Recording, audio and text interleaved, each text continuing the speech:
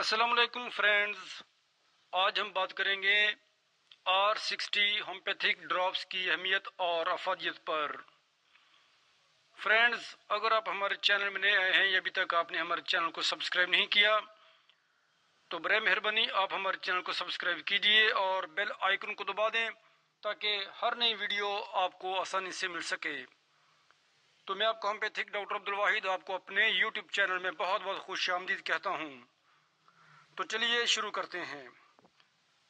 Friends इंसानी रगों में दौड़ता हुआ खून अगर ऑक्सीजन की वफर मकदार की बजाय आलाइश लिए हो तो वो जल्दी बीमारियों या दिगर जिसमानी तकलीफ़ की सूरत में होकर शख्सियत और सेहत दोनों को गहना देता है।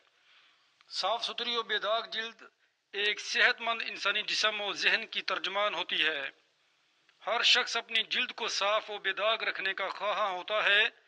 आर सिक्सटी हर किस्म के जल्दी मराज, मसलन चेहरे की फिंसियाँ कील दाने महासे, हर किस्म की नई पुरानी खारिश, नामुकम्मल इलाज की वजह से सुजाक के दबे हुए असरात, जिसम में पाई जाने वाली गिल्टियाँ, जल्द के पीपदार या गैर पीपदार, छपे या उबार वाले दाने, सर और चेहरे पर मसे चीचक के टीके की तकलीफ़ जल्द पर मुख्तलिफ़ किस्म के दानों को न सिर्फ़ हमवार, बल्कि फरार कराने में कामयाब है।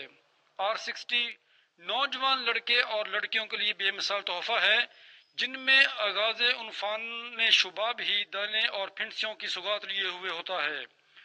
आर सिक्सटी उनके मसाइल का बेहतरीन हल है और उनके हदूदों के अफवाल के निज़ाम को ठीक करके उनको मसाली व बेदाग जल्द की बहार देता है। अहद शबाब जहाँ लड़के और लड़कियों के लिए मुसरत और शादमनी का दौर होता है। वहीं बाज़ात हदूदों के, फासद मदों के जायद अखराज के बायस, फ़िक्र परेशानी का बायस बन जाता है।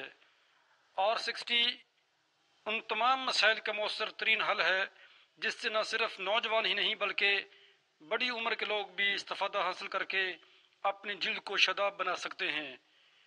आर सिक्सटी चेहरे पर कील महासे, उनमें वरम, खारिश जलन हाजमे की खराबी बिलखसूस जिगर के नाकस कारकर्दगी, चेहरे पर नमूदार होने वाली झाइयाँ अपनी यादगार छोड़ के जाने वाले जो दाने खुश्क हो गए हों, उसको इस तरह रफा कर देती है कि गोया उनका कभी वजूद ही नहीं था और उसका बाकायदा इस्तेमाल फिर कभी छाइयों, कील महासों और दानों को करीब फटकने नहीं देती और आपको बेदाग पुरकश शख्सियत का हामिल बना देती है।